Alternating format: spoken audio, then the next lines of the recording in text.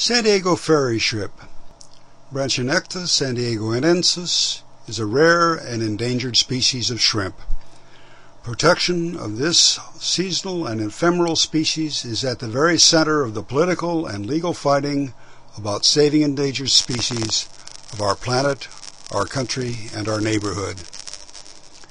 This little crustacean is very special and has a fascinating way of surviving.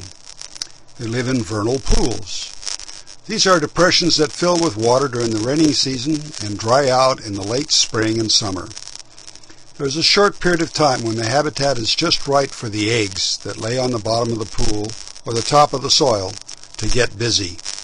The new shrimp can reproduce in two weeks. Females have a reddish egg pouch that they drop onto the floor of the pond as it dries out. The pouch has a water and sunproof coating so it can lie around until the next rain. Temperature affects these little critters. The warmer the water gets, the more eggs they make. The male has an extra antenna and a clasper. He holds onto the female and fertilizes the egg. What you see are the shrimp upside down moving around because of 11 pairs of leg-like appendages. The reddish-orange sac between the female's legs are the egg pouches. These animals eat plankton. The habitat where these live is being developed for housing, used for military exercises, and for the expansion of our local cities.